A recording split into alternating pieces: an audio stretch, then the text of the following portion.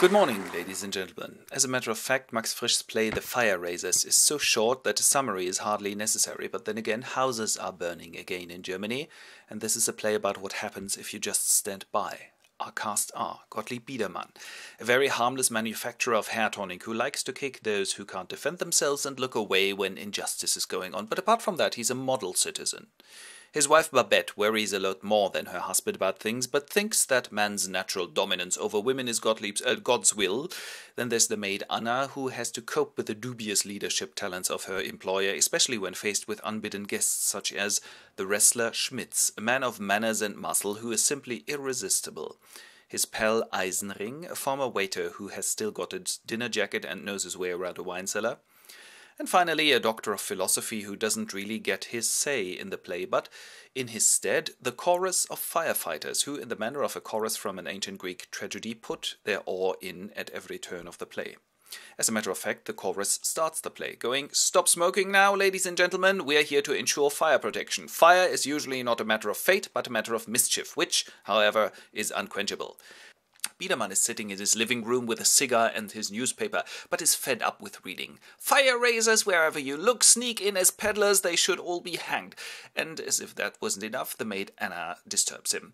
There's someone to see you, chuck him out, but someone has already come in. Mr. Biedermann, uh, without knocking, what are you doing here? My name is Schmitz. I'm not a peddler, but wrestler. Ah, I see. Cigar?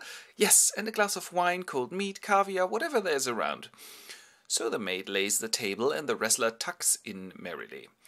Um, there's also Mr. Knechtling, who you fired. He can take a lawyer if he wants, or go kill himself straight away. I don't mind. I can fire whoever I want. So she walks away. He goes, But please don't think me inhumane. I'd never think that, because if you were inhumane, you wouldn't offer me to spend the night in your attic. And he goes, Uh, exactly. But don't tell my wife, okay? And promise me you're not a fire raiser, okay? And Schmitz bursts out with laughter before going up to the attic and sleeping. Then the chorus enters, going, By the way, if there's trouble, call 999 in the UK or 911 in the USA. When Mrs. Biedermann comes in, going, There's someone in the attic, isn't there? And the firefighters go, No idea, sorry, Gottlieb? But Gottlieb doesn't answer because he's taken sleeping pills. In the morning, however, she tackles him, going, A. Who is the person in our attic? And B. Why did you fire Mr. Knechtling? Uh, uh, B, because he wanted money. Can't stand greedy employees, so I threw him out. Indeed, I'm throwing out the people in the attic. They're not fire raisers. Still. Okay. But there's Schmitz already going. You want to throw me out, don't you? Well, uh, no. Well, I'm used to it, really. It's always the same. No, I don't want to throw you out. Go on, do.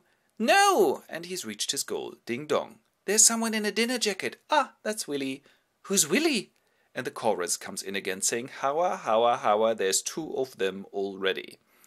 These two are occupied with heavy work in the attic on the next morning, when Biedermann climbs his staircase, infuriated, and addresses them. Mr. Schmitz, you are to pack your things immediately. All night long this noise over our heads. I'm throwing you out now. And Eisenring joins in. That's so incredibly impertinent of you. What are you doing? Huh? Who are you? Why is there two of you all of a sudden? And what are these barrels doing here? They've indeed put in quite a number of barrels in the attic. Um, my name is Eisenring. Those are my barrels, and there's petrol in them. I could have hardly left them in the street, could I? What, petrol? Then suddenly a policeman is standing behind him. Mr. Biedermann. Wah, what is it? Well, your former employee Knechtling has killed himself, and I've got a couple of questions. Ah, okay. And what's in these barrels? And he's embarrassed and goes, uh, hair tonic. And he's gone, and leaves the good people to carry on with their hard work. On the way to his lawyer, however, the chorus of firefighters accost him, saying, Beware! Beware! Beware what? What's the petrol doing in your attic, Mr. Biedermann? That's private, isn't it? Oh, sorry, we didn't want to trespass your privacy. And anyway, couldn't we have a little more faith in mankind, please? Oh, but we'll do.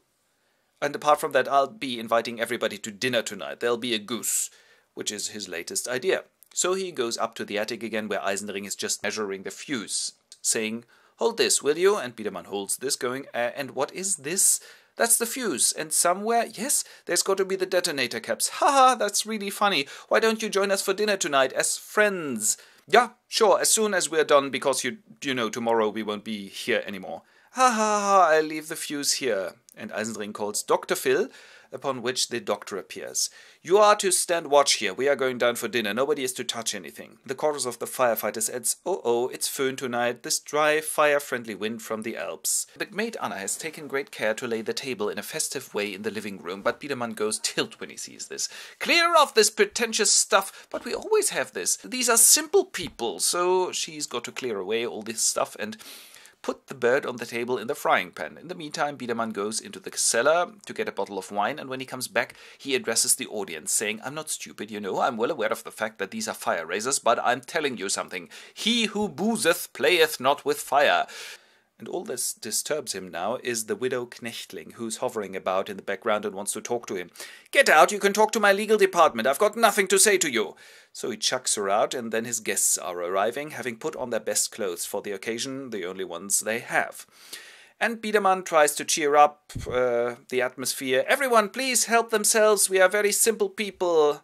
Ah, would have been nice to have some tablecloths for a change, or silver cutlery like we used to have. Anna! And the maid enters. Rig it up. But I've just taken everything out. Tut tut, get the stuff. So she brings in all the consumer garbage again. That's so nice, just like in the restaurant I used to work in until it burnt down. What? So nice, just like in the theatre I used to work in until it burnt down. What? It's true, I know how to act. And he snatches the damask tablecloth Anna has just brought in and plays a ghost, going, Every man, Biedermann, I am the ghost of Knechtling. And Mrs. Biedermann goes, Wah! And Biedermann goes, Pooh! And Eisenring chides him, That's enough of your sick jokes, Schmitz. But they go on singing, and you know what they say, where there's song you can safely stay until the firefighter sirens go off. What's this? Fire raisers! Stop shouting. No, let's talk about this. This is a diversion for the firefighters in the suburbs, though they won't be here in time later on. No, seriously, I'm serious. We're fire raisers. No, you're my friends. No, we're not, and we've got to go now. Please stay, can't I offer you anything? Uh, we need matches, as a matter of fact. So he gives them a matchbox, and off they walk. Then the Doctor of Philosophy enters and delivers a speech which he has been rehearsing. I dissociate myself from this, but at this point his speech is drowned by sirens and explosions and a blazing fire. Nobody understands a word of what he's saying. The Biedermanns remain alone and he goes, Luckily it's not at our place. But the matches! Yeah, of course I gave them matches. If they'd be real fire raisers, they'd have them, wouldn't they? The chorus closes the play, saying, What burns best is stupidity. And then the stage goes boom. And of course, the chorus is right because if you look away, if fire raisers creep into the neighborhood, you pass them the matchbox. And if you're silent when Pegida, AfD, and other right wing extremists are demonstrating, you haven't deserved freedom and democracy. And this, dear congregation, was The Fire Raisers by Max Frisch.